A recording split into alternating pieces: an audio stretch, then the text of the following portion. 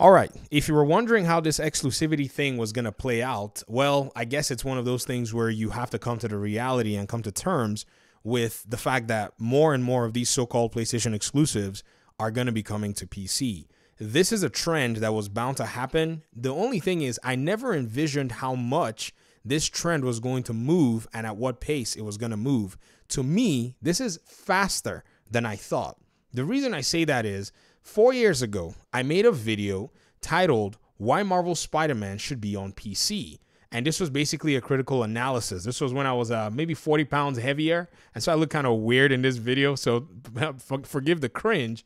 In this video, I mentioned a few things regarding data points that I thought were necessary to overcome because there were gamer statistics that were being considered at that time. So here are the statistics at that time when I actually made this video. Number one, 67% of gamers were in the United States, and 54% of them were PC gamers. This was a big number, not just a small number that you can just, you know, overlook. In seeing those numbers, I had to go ahead and make a conclusion that I thought if Sony was going to stay competitive, they needed to move to the PC market. This particular, uh, you know, set of data points also were born from the fact that around that time too, in 2016, a lot of people were not paying attention to what was going on, and the PC market was growing. In fact, the numbers were in the billions of dollars in PC market hardware. I think what happened was technology advanced very fast. Many of you have seen the change from the 10 series to the 20 series to the 30 series to the 40 series, how much we've gone very fast in advancing new capabilities for hardware. I know you might say games are coming out, you know, not in great shapes and what, but that's the software side trying to catch up with the hardware side, if you get what I mean. So when I made these analyses and made these pointers, there were people who thought that these things were never going to happen. In fact, if you look at the comments from this video, and this is on my other channel, by the way, there were people who said they didn't think it was going to come, that Spider Man was never going to release on PC. Uh, you know, and they, in my opinion, I thought they had, you know, uh, uh, they had good points in that time frame that you know there's no way we were going to be seeing an exclusive show up on PC but behold not only have we gotten one Spider-Man game on PC we've gotten two so far and not only have we gotten only Spider-Man games we've gotten Uncharted we've gotten Last of Us we are getting a Ratchet and Clank and we're getting all these games so what's going on Ladies and gentlemen, Sony has got to fulfill its fiduciary duty. It's got to find a way to make money. It cannot leave the biggest gaming community, in a sense, in quote, or the biggest possible market that they can actually reach just sitting there while Microsoft and Steam and Epic and Rockstar and all these players just continue to farm all those dollars. You see, if you even follow the data points, you'll see that Sony has found it profitable. It's not a matter of them testing to see if it's profitable. They found it profitable already.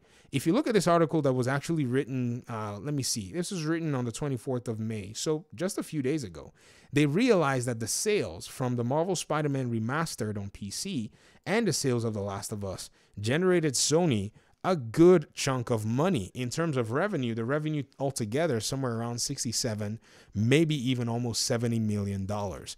Insomniac's remaster, according to this article, it says Marvel Spider-Man remastered PC sales crossed 1.5 million. The Last of Us Part 1 sells 368,000. Insomniac uh, remastered generated 52 million in revenue, while Naughty Dog's remake earned 15.5 million since releasing on PC. And many of you even know that if it wasn't for the state at which this game launched in, which was The Last of Us Part 1 remake or whatever, the game would have probably sold a lot more. Consider this with Horizon Zero Dawn, consider this with the God of War game, and even consider this with games like Days Gone, which a lot of PC players like, by the way. I don't know if many of you know. If we go on Steam, let's do this Days Gone Steam and look at the Steam reviews for this game, you will see that a lot of people enjoyed it.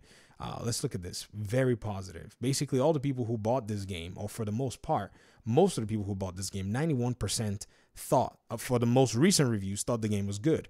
Overall, 92% of people who played the game thought the game was good. So when you think about all of these metrics, you can pretty much see that it is not only the fact that you know these games are profitable it's that the communities enjoy them. In fact if you look at miles morales there's something really cool about miles morales in the uh, reviews for that game. It's only filled with a lot of this take my money take my money. What's this? Main story seven hours for $50 so that's the only concern this person has here that the game is not necessarily um, you know long enough. I get it. I understand. But at the end of the day you know, that's the basic outlier in terms of concerns. But look at all the other reviews. Most of them are just full on positive reviews. They like these games. This is what PC players are wanting. Sony sees this. Sony wants to go in and make that money. In fact, right now they're closing the gap between a lot of the you know review uh, the releases. Basically, when they come out on PC, from the time they are released on PC to the time they sorry from the time they're released to the PS5 to the time they come on PC, those windows are shortening. And even with the live service games, they're going to be day one. Some people feel a kind of way about this, but I want to say, first of all, you have to take your emotions out of it. You have to go with the data, the raw statistics. Even when people are, you know, you know, showing uh, that they feel one way or nothing, or you know, and so on and so forth.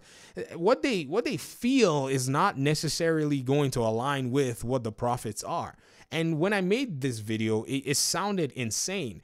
And what's even wild is this was not the only video that I made. In fact, I made others uh, right before we got the announcement for the, you know, PlayStation release of the game on PC. And even that one whoo, I got a lot of smoke for it. In fact, I even made one where I, I, hypothesized that there is a scenario in a world where these games make their way to Xbox when some certain, some certain conditions line up. And that one, I almost shoot, I could have been dragged into a into a prison cell and locked up because people are very emotional about this stuff. But you can't be emotional. Come on, we're adults here. We understand that the landscape of gaming is actually based on the fact that it can be financially viable for these companies. We're just benefactors if the games that they're making actually appeal to us. That's about it because not every exclusive is my cup of tea. I'm not playing Returnal, won't play it, don't care to play it. It's been recommended to me, but I'm not going to play it. Uh, I'm not going to play The Last of Us again, and I'm I'm certainly not going to spend more money in buying another Uncharted remake or remaster. I already played those, and I'm fine with what it is that I've already done with those. But a game like Spider-Man, a game like Ratchet and Clank, they're probably going to pique my interest, but that's just how it is. So when all this comes into play, I think Sony fans need to kind of just go ahead and say, you know what, this is the reality. If we're going to keep getting these exclusives, this is exactly where things need to go. Because I don't know if you guys saw those two games basically showing up on PC generated revenues of about $67 million.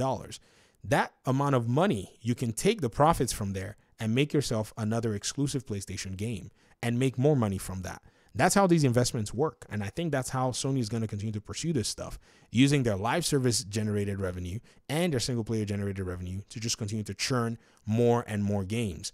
It is the cycle that has to happen. Think about it. When it comes from a sustainability perspective, this is what we in the gaming scene overall, whether you're a PlayStation person or a PC person, this is exactly what you need. Even as an Xbox person, you benefit from this indirectly because this means Microsoft will step up its game in whatever ecosystem it's trying to provide. So this drives the competition and eventually continues to bring out quality overall. Let me hear your thoughts in the comment section. Thanks so much for watching. Peace out.